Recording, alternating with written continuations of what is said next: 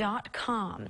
On other news, North Dakota tribal nations have been dramatically undercounted in past censuses, but this is a nationwide issue and one that is getting worse with time. This week, I had the opportunity to sit down with Nicole Donaghy.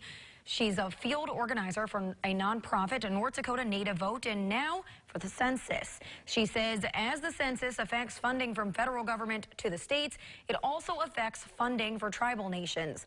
The lower the population count, the lower the funding, particularly for health care, which she says North Dakota tribes are in desperate need of. It also affects ed education and infrastructure. Donaghy also says this is the first high-tech census, so people can report online. But this is not super helpful on the reservations because internet coverage is sparse. And just like the rest of the state, she's also concerned about the number of census work workers that'll make it to the reservations. So in response, North Dakota Native Vote has hired a field canvassers to work as educators on tribal lands to make sure as many people participate as possible come April.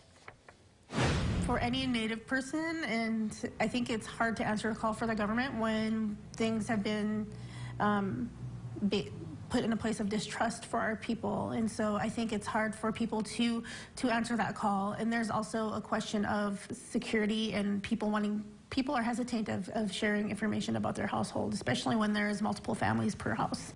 She says regardless, when it comes down to it, the census is a benefit for everyone, especially for getting adequate health care funding on North Dakota tribal lands. Well, with many people lighting up